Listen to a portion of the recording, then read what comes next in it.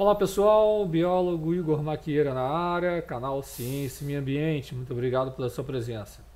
Pois bem, olha que curiosidade bacana, vamos de informação, porque florestas já existiram no Ártico, tá? E é isso que você vai conferir agora.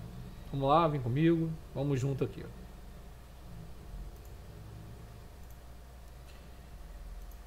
Pois é, minha gente, aí é o artigo Perdão, aí está o artigo, tá? É, deu uma travada aqui na, na imagem, agora sim. Então, a, essa imagem aí, tá? É, um artigo científico que, inclusive, tá fresquinho, de 2022, tá? Respeitando os devidos créditos, eu vou colocar também na, na descrição para vocês aí acessarem, tá certo? Agora, o que, que esse estudo aí diz, né? É, existem algumas árvores, né, alguns vegetais, para vocês entenderem, que são as bétulas. Tá? Então, essas florestas é, de bétulas, de algumas espécies de pinheiros, uh, muito, isso muito mais abundantes no Ártico durante o Holoceno, período Holoceno, é, do que no período atual. Então, quando a gente pega é, espécies de árvores, plantas, né, animais, eles contam uma história muito diferente sobre o clima dos últimos cerca de 11 mil anos uh, do que aqueles que hoje afirmam que as temperaturas é, modernas do Ártico são excepcionalmente quentes, tá? Era muito mais quente. Só para vocês terem uma ideia, esse estudo aí é, de que aborda a paleoclimatologia, que é uma ciência maravilhosa, é um clima ártico muito mais quente que o presente entre 3.500 e 9.000 anos atrás. Tá? Estudos de Brown et al. 2022. É, era adequadamente quente o suficiente, inclusive, para sustentar essas espécies é, aquáticas, é, satisfazer requisitos é, alimentares, né, a parte da energia alimentar durante todo o ano uh, de espécies de alces que se, se, alimentavam principalmente de, de outras espécies de, de vegetais, né, uh, folhas, galhos, brotos, né, toda a, a, a, vegetação local. Então, florestas de bétulas e pinheiros uh, permeavam ali né, as regiões mais ao norte da Noruega, da Noruega Ártica por cerca de 1500 anos atrás, quando depois ficou bastante frio. E esse estudo ele é corroborado por um estudo um pouco mais antigo, tá?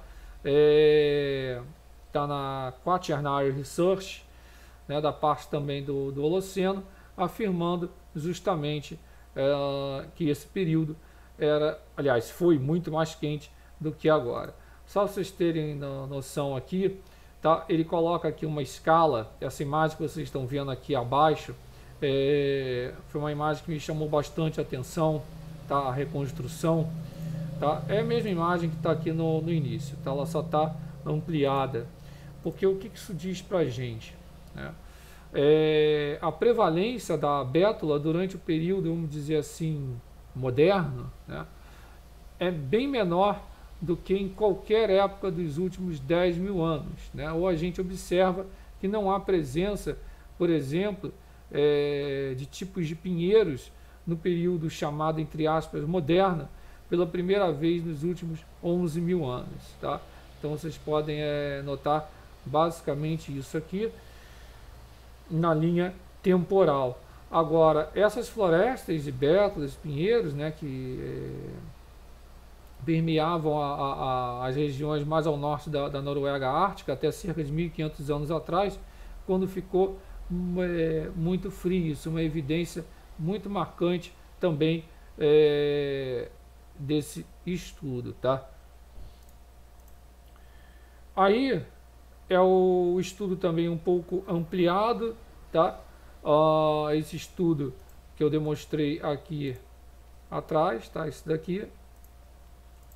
Esse é um pouco mais antigo, mas só para evidenciar né, que essas descobertas uh, muitos não, não conhecem, tá? Por isso que o canal aqui é de utilidade pública, porque são consistentes com outros estudos que indicam que as costas do, ali do Oceano Ártico eram cobertas por florestas durante o Holoceno inferior, tá? afirmando que o Ártico era de 2 graus Celsius e meio até 7 graus Celsius mais quente do que hoje, né, do, no, no, estudo do McDonald et al. dos eh, anos 2000, durante um período em que os níveis de CO2 eram cerca de 260, mais ou menos 260 partes por milhão. Tá? Então é, é, é muito, muito promissor, muito bacana, porque isso demonstra né, é, que pelo princípio da similaridade, nós tivemos períodos com níveis de CO2 é, bem mais baixos do, do, do que o, os atuais, tá? mas com temperaturas, mesmo o CO2 sendo é, bem mais baixo, temperaturas bem superiores ao presente, tá certo?